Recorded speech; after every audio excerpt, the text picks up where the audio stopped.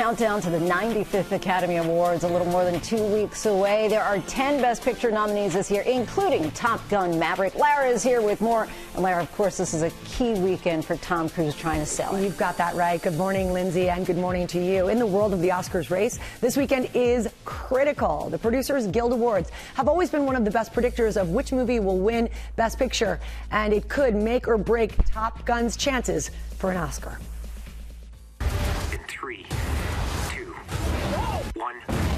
This morning, Top Gun Maverick and its star and producer Tom Cruise ready to hit Mach speed towards Hollywood's biggest night.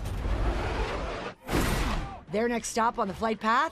This weekend's Producers Guild Awards, where Cruise will receive the David O. Selznick Achievement Award, and Maverick is up for the PGA's Best Picture the voting body for the PGAs is kind of a similar body for for the Oscars. That's usually a pretty good predictor about who's going to take home that best picture trophy on Oscar night should that film win. It's going to really be a big moment for for the Academy. Cruise was seen grinning ear to ear at last week's Oscar nominee luncheon, charming the cast of Everything Everywhere All at Once. Fellow nominees Jamie Lee Curtis, Michelle Yeoh, and Ke Huy Quan, the Best Supporting Actor contender, visibly starstruck. I just found out that Tom Cruise is in the building! If there were babies there, he probably would have kissed them. The luncheon, you know, is a campaign stop for a lot of nominees. So of course, you know, Tom Cruise was was there with that beautiful, gorgeous smile, making sure that people saw him in the room. Cruise also spotted chatting it up with Steven Spielberg, the legendary director's film The Fabelmans, ready to duke it out against Maverick for the Academy's top prize. Lift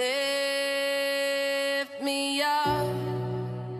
Overnight, the Academy announcing that Rihanna will be taking the Oscar stage, performing her Oscar nominated song from Black Panther called Lift Me Up.